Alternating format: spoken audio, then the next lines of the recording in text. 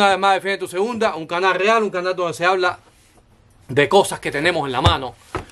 Y no andamos leyendo de Google. Si hay algo que me equivoco, yo les hablo sobre lo que sé, sobre las cosas las saco de mi memoria, de la experiencia que tengo aquí con los clientes, vendiendo armas y tirando y enseñando. Instructor de la Asociación Nacional de Rifle por, por, tres, por dos años ya.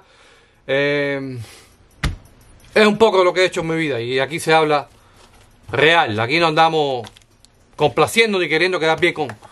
Vamos a dejar un poco ya la charla. Y aquí está la Magnum Research Águila del Desierto de en inglés, pero esto es un canal en español. Entonces se llama Águila del Desierto. ¿Qué trae en la caja? La constitución de los Estados Unidos, para que nadie se lo olvide, que la segunda enmienda es sagrada. Un disco que ya los discos no se usan, no sé si alguien tendrá un DVD. un poco de, de antigüedad, ¿verdad? Pero sí, señores, ya los discos no se usan. No sé qué dirán este disco. Me imagino que dice manual del operador. Candado y un poco de papeles. Pero eso no nos atañe. Trae, los, trae las empuñaduras originales. Porque esta pistola es la pistola de Tron el Castigador. Como pueden ver aquí, vamos sesionando el arma de descargada porque no queremos una descarga accidental de 50 AE que sería devastadora, me acabaría con la tienda. Con la tienda.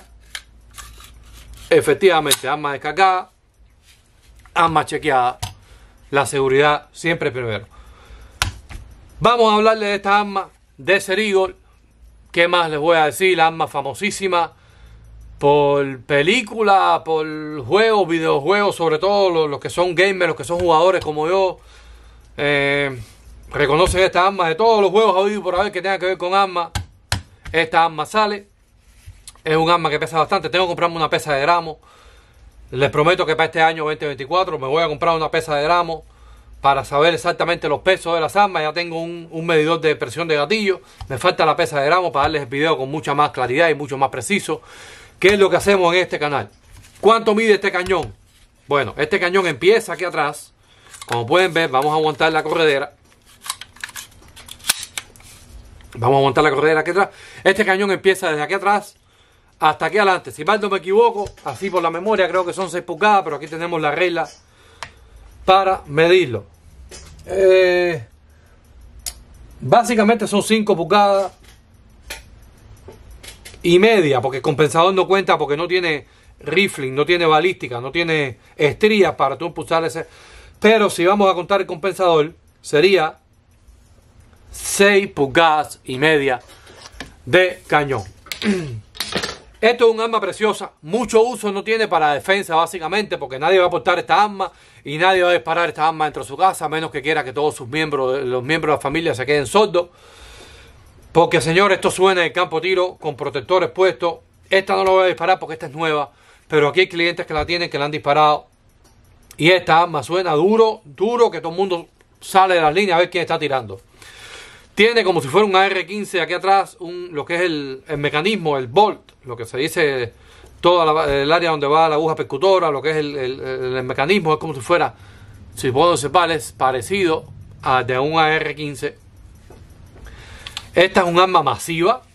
Este en específico es la serie de Tron el Castigador. Como pueden ver, tiene la carabela de Tron con el pelo de Tron. Bueno, la carabela del Castigador con el pelo de Tron. Es un arma de simple acción, simple acción solamente, con un seguro. Cuando ve el puntico rojo, su arma puede disparar. Cuando no ven el puntico rojo y el seguro está hacia abajo, su arma queda completamente asegurada, inhabilitada.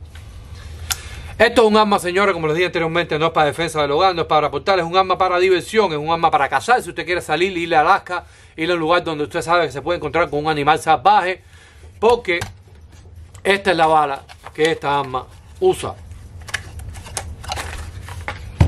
Miren estas dimensiones. Para ponérselo en contexto, vamos a poner esta arma, esta bala, al lado de una bala 9 milímetros. Para que ustedes vean lo que les estoy diciendo. Esto es una bala 9 milímetros y esta es la 50 EI. Miren qué bestialidad. Miren la diferencia.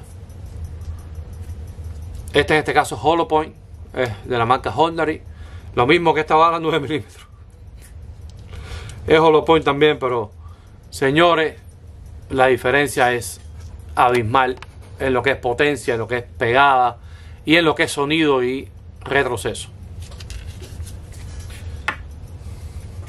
Como pueden ver aquí tiene, dice We the People, que eso está en la constitución. Dice Desert Eagle Pistol Made in, made in USA, estas armas. Eh, la agencia de ella es Magnum Research, la, o sea, la compañía que las hace Magnum Research, ellos tienen una extensión aquí en Estados Unidos, pero son israelitas. Aquí tiene calibre 50 EI, tiene un compensador adelante para disipar todos esos gases, tiene un picatín y regla aquí arriba, si quieres poner algún tipo de reto, se lo puedes poner arriba o con un tipo de punto rojo sin problema. Las miras son negras, son miras de, de blanco, lo que le llamamos miras de target. Son miras negras adelante, no son ajustables, son fijas, están donde están, no las puedes mover. Y la mira delantera es negra también. Miren el tamaño de ese cañón. Por este lado tenemos lo mismo. Eh, Research. Pilager, uh, Minnesota, USA. We the People. Dice aquí con una bandera americana. Es una pistola de simple acción, como les iba diciendo. Esta pistola, una vez que su martillo está eh, eh, completamente hacia adelante, usted no puede disparar. Usted tiene que. Usted carga su arma, dispara. Y en su siguiente disparo, obviamente, con, con, con retroceso, va a poner otra en la recámara. Tiene un magazine de 7 disparos. Aquí lo podemos ver, número 7. 7 disparos y uno de la recámara son 8. 8 disparos de 50 EI. El magazine se carga de esta manera. Es un magazine single stack.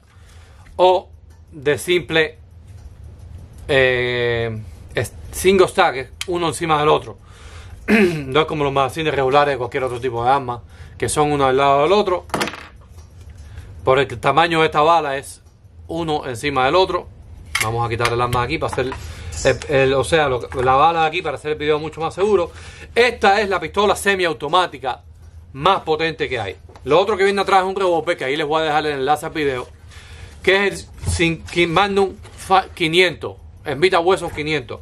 Miren la diferencia, este 50 ahí, que es esta bala, Smith Wesson 500. Miren esta bala, señores. Ahí yo tengo un video por ahí abajo, búsquenlo. Se los voy a dejar aquí. Eh, esta bala, disparándola con una mano, diferentes tipos de pesos. Pero este revólver, el calibre más grande que hay de un arma de mano. Y este es el calibre más grande que hay de un arma semi-automática. Este calibre es de revólver 500 Magnum 500, eh, Magnum 500 Smith Wesson y 50 A. Son las balas más potentes que hay en lo que arma de mano se refiere. Esto es un arma bastante divertida de disparar. Esta que tenemos aquí es su hermana y la tenemos en 357 Magnum. Ella lo hace en todos los calibres, 44 Magnum. Eh, esto es un calibre de revólver 357 Magnum. Esta, como pueden ver, tiene un poquito más de capacidad. No son 7, ahora son 9. Y una en la recámara, 10. También es un arma de acción simple. Obviamente es seguro, es la misma arma. Esta es completamente negra. El cañón mide también sus mismas 6 pulgadas y media, pero esta en este caso no tiene el compensador. Por lo demás, todo es igual. Picatinny rail, miras no ajustables, miras fijas. Eh, son armas divertidísimas de disparar, son armas eh, bastante entretenidas. Como les dije, son armas para el campo de tiro. Esta puede ser que sea, tú sabes, para defensa del hogar, porque es 357 Magnum. Eh, esto no tiene retroceso ninguno, 357 Magnum, un arma tan pesada. Esta arma debe pesar por lo menos 3 libras, digo yo. Eh, eh, déjame, déjame coger la pesa. Eh, como pueden ver, vamos a poner la de 357 Magnum. Yo había hecho 3 libras. 4 libras y media con el cargador vacío. Casi 5 libras con el cargador vacío. Lo que es la 357 Magnum. Y la 50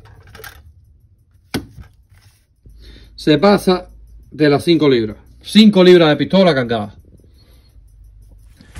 Espero que hayan disfrutado de este video. Este es un video particular, no, no es un video instructivo, pero si usted, ¿por qué no? Quiere comprarse una Magnum, una Águila del Desierto, ya sea 357 Magnum, 44 Magnum, o la más entretenida, la más divertida, la más popular, la más famosa, la primera que empezó, 50 EI, hágalo, señores. Si usted tiene dinero y puede darse gusto, hágalo. Eh, las armas no tienen que ser precisamente solamente para defendernos no tiene que ser todo tan serio. Las armas son para disfrutarlas, tenemos el derecho de tenerlas, para enseñar a los hijos a cazar. Eh, las armas son para, para, son un modo de vida, son un estilo de vida, son más de lo que la gente quiere ver, que si son para hacer daño. No, no, no, las armas, todas estas armas están aquí no le han hecho daño nunca a nadie. El que hace daño es la persona con su mentalidad y con su manera de pensar y con su manera de actuar. Usted, como le dije, cómprese lo que pueda comprarse, si puede comprarse una Desert Eagle, esta está muy, esta está, la, de calibre no, las de calibre populares así como 357 Magnum, no son tan caras, son 1200, 1300 dólares, esta vale un poco más cara porque esta es edición limitada, esta es la edición de Tron, el castigador y eh, vale como 2.500 dólares porque tiene cosas grabadas, es 50 ahí, eh, tiene compensador, es stainless steel, es doble, se llama lo que se llama acero inoxidable. Y tiene doble tono, negra arriba, acero inoxidable, es un arma preciosa como pueden ver. Y es un poco más cara, está sobre los 2.300 dólares. Eh, como les dije, esto es un arma para entretenerse, un arma para tirar, para disfrutarla. Un arma, ¿por qué no? Porque quieres tenerla y te da la gana. Así que, señores, que Dios me los bendiga. Dios me los bendiga siempre. Feliz 2024. Y hasta la próxima.